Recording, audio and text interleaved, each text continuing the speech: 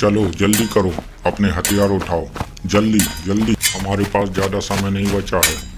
और कतार बनाकर खड़े हो जाओ। जल्दी जल्दी हाथ चलाओ। हमें अपने हथियार, धारदार और मज़बूत बनाना है, जिससे दुश्मनों के सैनिक एक ही बार में मारे जाएँ। उस बक्से को काफ़ी संभाल के ले जाना है। देखना खुल ना जाए।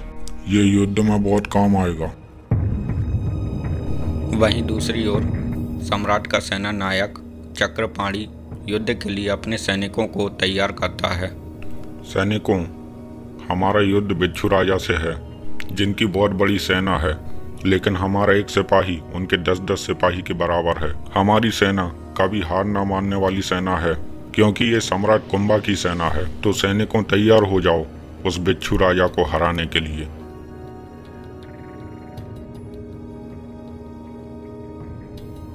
फिर दोनों ओर के सभी सैनिक युद्ध मैदान पर पहुँच जाते हैं।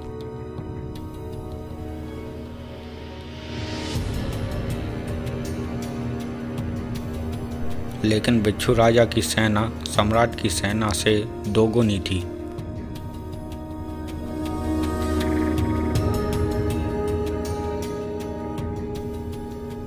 और देर न करते हुए युद्ध आरंभ करते हैं। आक्रमण, हमला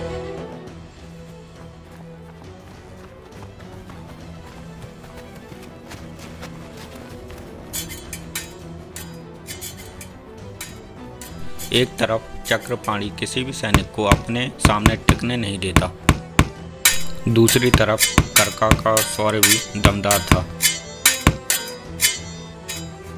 सम्राट के सैनिकों द्वारा बरसते तीरों से बिच्छू राजा के सैनिक नहीं बच पा रहे थे और एक एक करके सारे सैनिक मारे जा रहे थे।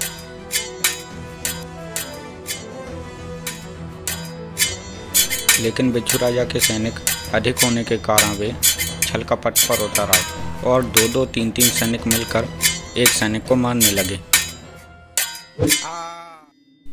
समय बीतने पर चारों ओर दोनों तरफ़ के सैनिकों की लाशें बिछ गई थीं। तभी एक बहुत बड़ा बिच्छू मैदान में आ जाता है, जिसके ऊपर बिच्छू राजा विराजमान रहते हैं